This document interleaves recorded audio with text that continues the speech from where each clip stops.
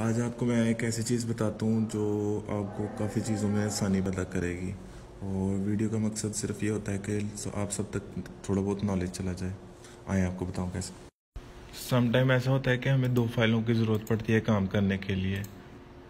एक ये हो गई और दूसरी ये हो गई।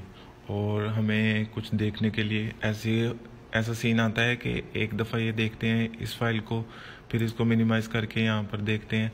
यहाँ फिर हम विंडो और टैब की मदद से करते हैं, ये चेंज करके देखते रहते हैं।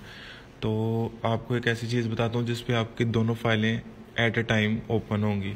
आपने क्या करना है? विंडो और एरो की दबानी है, ठीक है? विंडो एरो की दबाएँगे तो आपके सामने ये सारी फाइलें ओपन हो जाएँगी। अब आपको जो सी दो फाइलें चाहिए जिस पे काम करना है, उसकी ज़रूरत है वो ओपन कर लें। अभी ये दोनों फाइलें जैसे आपके सामने खुल हुई हैं, आपको कोई भी डाटा इधर काम करना है तो इधर कर सकते हैं और इधर काम करना है तो इधर कर सकते हैं। इधर उधर से देख के दोनों जगह पे काम हो सकता है।